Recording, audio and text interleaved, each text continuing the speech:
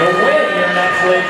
Number two rider, Kinley Snyder at Arlington, Texas. Eight more girls now. Donovan, Vaughn, Lambert. Inside move in the third quarter. He's coming rampant. How about the L?